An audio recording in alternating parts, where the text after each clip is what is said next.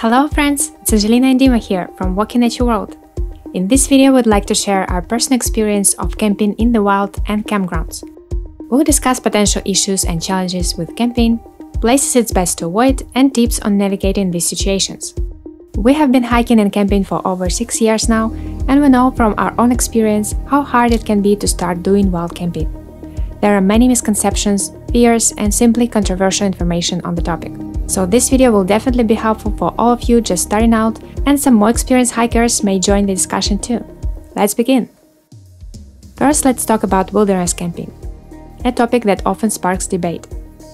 Some believe you can set up a camp anywhere, but that's not entirely true.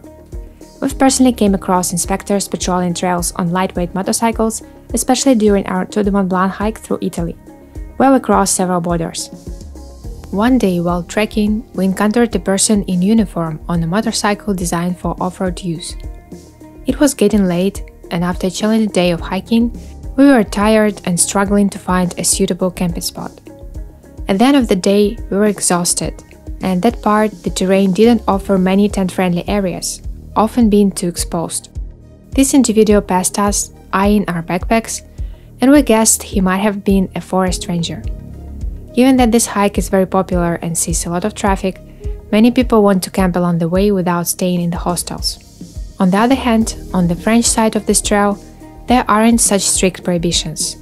There are designated spots for wild camping, and you don't need to worry about someone's coming to check on you at night. However, on the Italian side, we occasionally encountered printed warnings against wild camping. But since our plan was to hike at our own pace and camp in our tent, it didn't quite align. And so we decided to camp in the wild anyway, taking those risks. That evening, after realizing the seriousness of situation and the potential trouble we could get into, we decided to move as far away from the path as possible.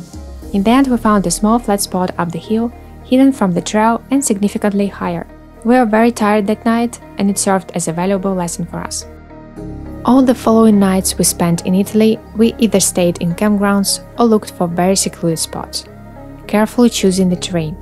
And just let us tell you that it wasn't easy. So you should always be mindful of each country's laws and regulations. Sometimes even the regions or provinces of one country can have different rules. While you may not have any problems with tent camping in one country, it doesn't mean that the neighboring country is the same and it can potentially lead to unpleasant situations due to the ignorance of local rules. If you find yourself with no other choice but to camp where it's prohibited, follow these rules of stealth camping as much as possible. Don't use a flashlight and only use the light inside the tent when absolutely necessary. Also refrain from making loud noises and under no circumstances start a fire. Nowadays, there are many safer alternatives for cooking and besides, they are much more convenient than a risky fire made of sticks, branches, and cones. It's hard to control sudden gusts of wind that might spread your fire across the dry forest floor. Plus, you'll need a huge amount of water to put out the fire if there is no river or water source nearby. A bit of a safer option can be a portable wood stove, but we've had experience with those, and we still didn't like the fact that after using one, your pots turn black and are impossible to clean, and everything, including your hands, ends up smelling of smoke. And of course, it's not all that safe either. The next rule is to try to leave such spots as early as possible. Following this rule, you can camp even in restricted areas or where it's prohibited, as an exception, of course, and when you really need it. You are typically required to pitch your tent after 7 pm and pack up by 8:30 am, though these times may vary by region. France, for example, has clear signage explaining such rules, ensuring that hikers are aware of the rules. Sure enough, you mustn't leave any trace behind you, taking all the trash with you. So following these simple rules, you shouldn't encounter any problems. Now let's discuss the campground stays. As it turns out, based on our personal experience, staying in campgrounds is not always as simple as would like it to be. Each campground may have its own set of internal rules, which may differ. Also, each campground sets their own prices, and this price can sometimes go overboard. For instance, when we tried to stay at the campground in Chamonix on our first day of Tour du Mont Blanc, they had the price 50 euros per night. And this was just a tent, two people, and a small patch of land. Also, some campgrounds refused us accommodation when we arrived late at night and didn't have a reserved plot in advance. However, planning ahead isn't always feasible when through hiking. Sometimes you may want to stay an extra night at a beautiful spot and make an unplanned stop due to being tired or injured. You can never be sure that you'll reach a specific campground on a specific day, which is why we never book campgrounds in advance. But depending on the camping and their internal rules, they may refuse your accommodation in such cases, as it happened to us on several occasions. So you should keep it in mind too. Talking about that, we had a very unpleasant experience with camping on Camino de Santiago. On our first day, we arrived exhausted from the long bus trip, knowing there was a campground nearby. However, when we reached the reception desk, there was no one there, and we began searching for someone to assist us. Despite our efforts, we couldn't find anyone there, so we decided to set up our tent in the nearest available spot. We settled in, preparing for sleep, when a guard approached us, asking if we had a reservation and for our documents. We explained our situation, stating that we would pay in the morning and that we just needed a place to spend the night. However, the guard refused to listen and insisted that we leave the campground. With the guard looming over us, we quickly packed up and left, finding ourselves stranded in an unfamiliar city street in the dead of night. It was a dreadful experience, wandering the city trying to find any place to spend the night. Eventually, towards morning, we stumbled upon a more basic campground and pitched our tent there but this was a highly instructive experience regarding camping stops. Be cautious and try to avoid such situations. As for our journey along the Camino de Santiago, we faced difficulties finding suitable camping spots at times. In some places, we couldn't find suitable spots for wild camping, especially in areas close to the coast where there are many rugged hills densely overgrown with ferns. This fern growth posed additional problems for finding a suitable tent location. Therefore, we often had to deviate from the trail by a couple of kilometers to find a flatter and less overgrown area. Sometimes we simply stumbled upon fields planted with cereal crops. This was one of the least favorite places to camp for the night, but we still had to do it a couple of times. These fields are not even meant for walking. Additionally, farmers may pass through the fields and notice your pitch tent, which wouldn't be welcomed as it violates the rules. Also, the area is highly populated, and sometimes we had to walk many extra kilometers until we were out of the city in the more secluded wild area. Along the Camino del Norte, we also encountered many abandoned areas with half ruined buildings.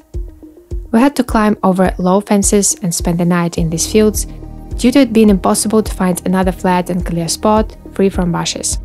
These were some of the critical moments for us, and we understand that it was a violation of the rules.